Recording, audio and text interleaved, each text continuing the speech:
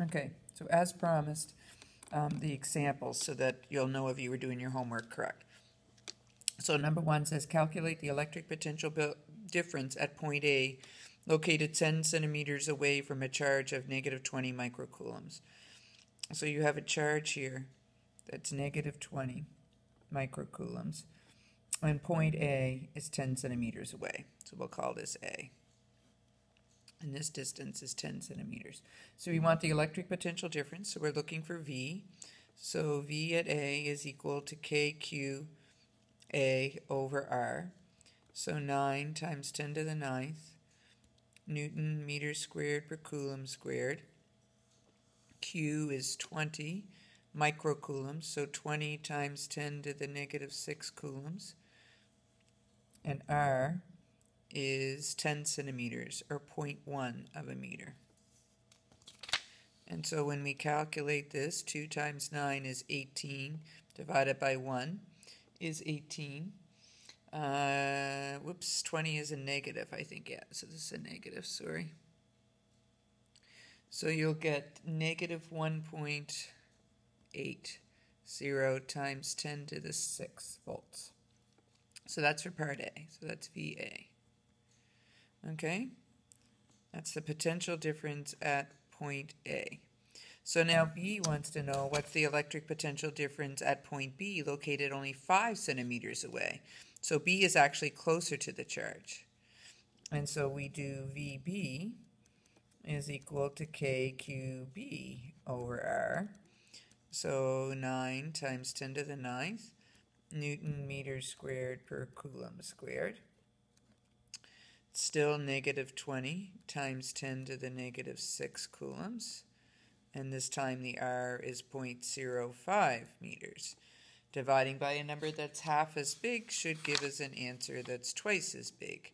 So VB is going to be negative 3.6 times 10 to the 6 volts. Now remember the negative means that you didn't have to do any work to get the charge there.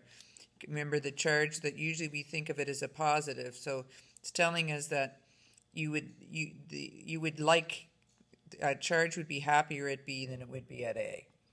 Okay, so C says, what's the potential difference? So what's the potential difference between A and B? And so when it says between two points, they're looking for delta V. What's the potential difference at A? They're just looking for V at A. But if they're asking for the potential difference between two points, you're looking for delta V. And delta V will be final minus initial.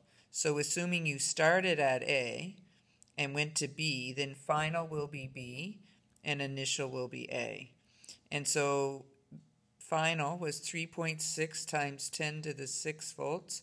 Initial was negative 1.8 times 10 to the 6 volts. Minus a minus is like adding. So the delta V will be negative 1.8 times 10 to the 6 volts. What does that mean? It means that we didn't have to do any work to get it to move from A to B, that the field did the work. And so the question says, which point is higher potential? The answer is going to be A. And it's going to be A because things will move from higher potential to lower potential on their own. Things will move from higher energy to lower energy. They never want to be in a high state of energy. It's no different than you, right? If you had the option of standing up in your living room uh, or lying down on the couch, you're going to lie down on the couch. You're automatically going to go to the lower point of energy. It's the same here. So B must be the lower point of energy because the field will take it there. If you wanted to move it from B to A, you would have to do work. Just like if we wanted to get you off the couch to stand up again, we would have to do work. So the point that you have to do work to get it to is the point of higher energy, and the point that it goes on its own, that's the point of lower energy. This negative tells us it's going to go to B on its own. That means B is the point of lower energy and A is the point of higher energy. Example 2.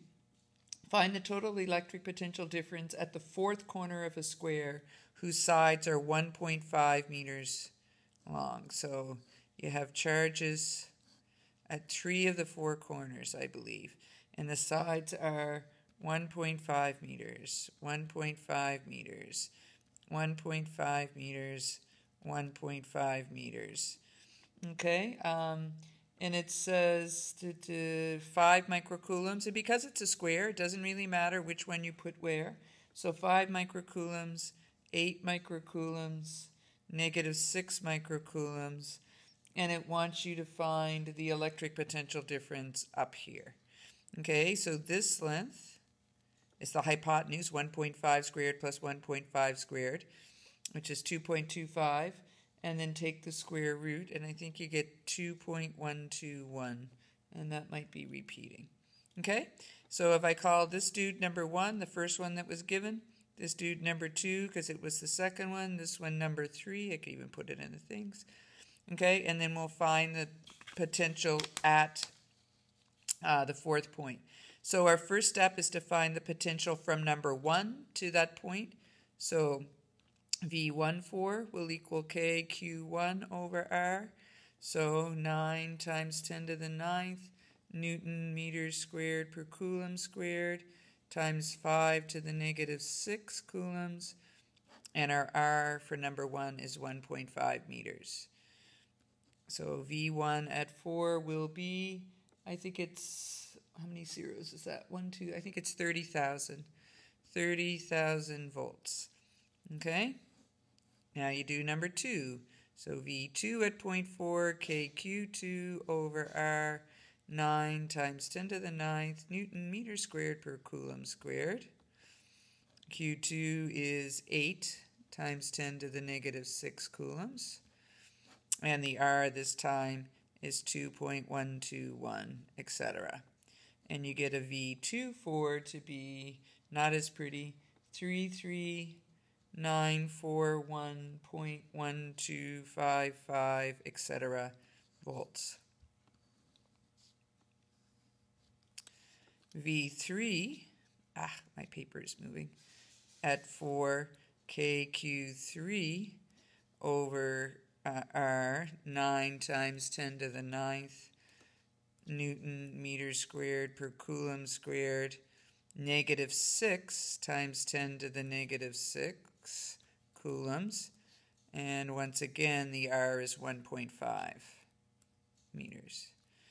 And so when you do this, you get a V3 to be negative 36,000 volts. Okay, so the question this time wants the total electric potential from the four of them. Up here it wanted the difference between the two, but down here it wants the total. And electric potential is a, a scalar. So to get the total, all you have to do is V1 plus V2 plus V3. No components, no drawing in the vectors, just 30,000 volts plus 33,000 941.1255 volts plus a negative 36,000 volts. And so when you do that, you end up with a V total of 27,941.1255 volts. Isn't voltage easy? no components like fields and forces. Just find the three of them the same way we would have if we were looking for fields and forces, but then instead of worrying about components, just add them up. If it works out to be positive, it means that at that point it, um, you would need to do work on a charge to get it there.